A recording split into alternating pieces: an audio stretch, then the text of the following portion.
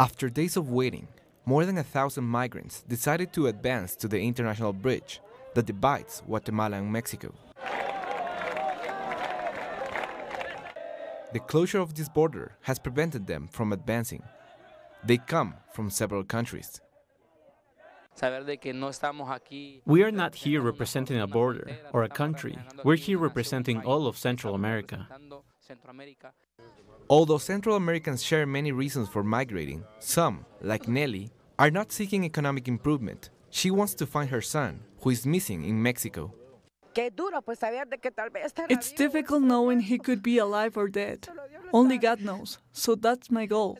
I have soul and feet, but I need to know if he's dead or alive. Although Guatemala is part of the Central American Agreement on Free Movement, which allows citizens of Honduras, El Salvador, Nicaragua, and Guatemala to travel freely, the Guatemalan police resorted to force, firing tear gas to stop the migrants.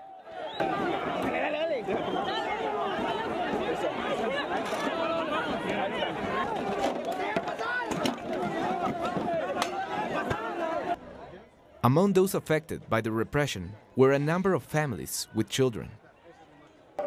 I fled from Honduras, where they also treat us badly. We want to escape from violence, and here there is more violence. We just want a free country for our kids. Before them, an unwanted reality the Mexican border remains closed.